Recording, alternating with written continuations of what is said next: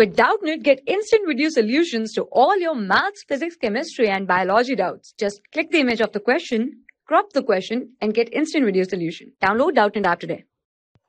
Hello everyone, welcome to the video. So our today's question is the intensity of light coming from one of the slits in the Young's double slit experiment is double the intensity from the other slit. Okay, find the ratio of the maximum intensity to the minimum intensity in the interference fringe pattern observed. So in this question, we have to calculate the ratio of the maximum maximum intensity to the ratio of minimum intensity. That is I mean. So in a double slit experiment, there are two sources. That is S1 and S2 and they have two intensities basically general, generally they have both equal intensity. But in this question it is given that one source has double the intensity of the other. So due to which a different type of fringes uh, pattern are seen on the screen.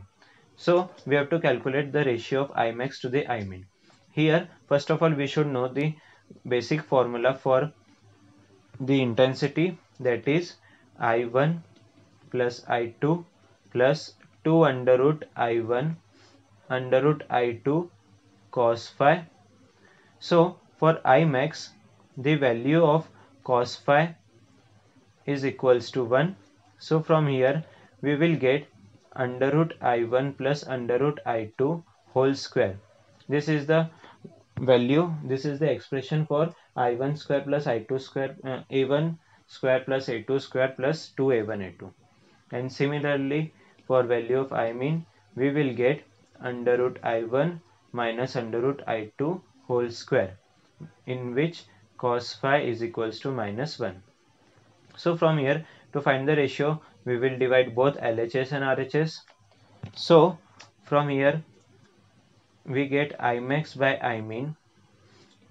Putting the value of I1 and I2 we will get under root 2i plus under root i whole square whole upon under root 2i minus under root i whole square.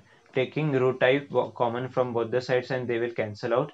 So finally we will be left with root 2 plus 1 whole square whole upon root 2 minus 1 whole square. In this type of conditions we should know that uh, to cancel out the root factor from the denominator we should multiply it with the with its conjugate. So from here by multiplying its uh, conjugate we will get root 2 plus 1 the conjugate of root 2 minus 1 is root 2 plus 1 whole upon root 2 minus 1 into root 2 plus 1 whole square. So the denominator becomes root 2 plus 1 whole square.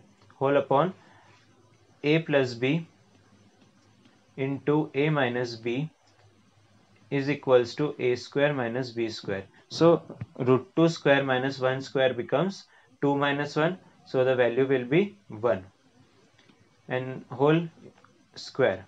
Okay. On solving root 2 plus 1 whole square we will get we will get from here on solving all the values we will get 17 plus 12 root 2. This is the approximate value. So putting the value of root 2 that is 1.414 we will get 17 plus 16.968 this 16.968 we can write it as approximate value of 17 so I can write here as 17 plus 17 or the Imax by I Imin can be written as Imax by I Imin can be written as 34 is to 1. So the ratio comes out is 34 is to. For class 6 to 12, IIT JEE and NEET level. Trusted by more than 5 crore students. Download Doubtnut App today.